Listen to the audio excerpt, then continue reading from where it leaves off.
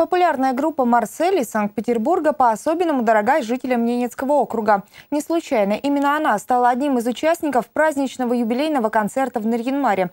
На следующий день Степан Литков, вокалист популярной группы «Парень из нашего города», принял участие в молодежном проекте «Диалог на равных».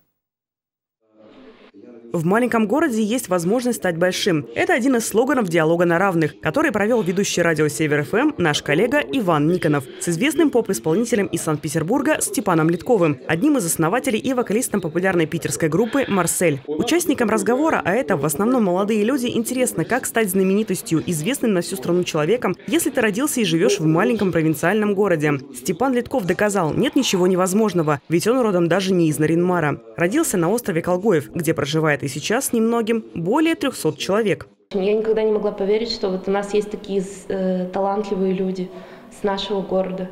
Очень интересно на самом деле. И вот захотелось, ну, еще почитать о его творчестве, послушать его песни. В общем, мне все понравилось.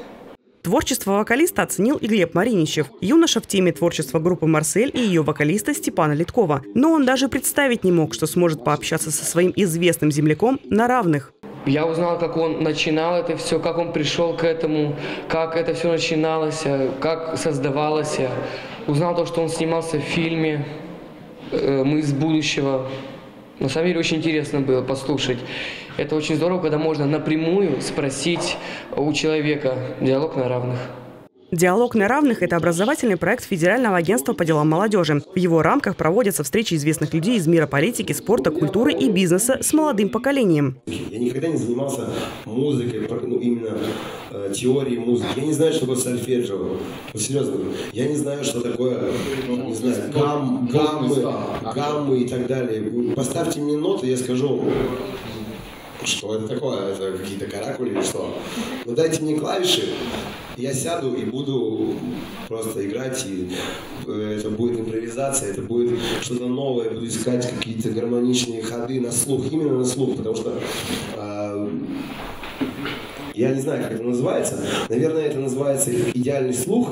Степан рассказал о начале своего творческого пути, и это было еще в Наринмаре. Будучи школьником, а учился Степан в первой школе, он создал с друзьями группу «Дядя Степа», которая пользовалась большой популярностью среди молодежи. Был и звездой местного КВН. Два золотых правила. Если кто-то из людей, которых, которые с тобой рядом каждый день и, в принципе, влияют как бы, ну, на тебя очень сильно, если они тебя не поддерживают и не верят в тебя, самое главное, не верят, то лучше сразу как бы расставаться и оставаться друзьями, там, не знаю, просто, а может быть даже не друзьями оставаться.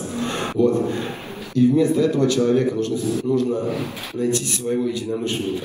Единомышленниками всегда была его семья. Именно поэтому авторитетом для Степана и главным ценителем его творчества является мама.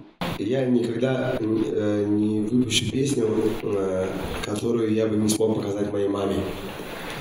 Вот. А у меня есть такой ценз, как бы мой личный в голове. То есть я могу даже и не показывать ей, понимаешь? Так сказать, так всегда почти бывает, что... Но вот этот вот ценз, то, что моя мама учительница, и а, как-то вот всю жизнь меня воспитывали так, что э, у нас в семье никто не мочугается, э, не курит, не пьет. То есть вот, вот такие у нас, э, вот такие вот, не знаю, движухи у меня с самого детства впитывали мои родители, за что им я очень сильно благодарен. Наталья Кислякова, Владислав Носкин, телеканал «Север».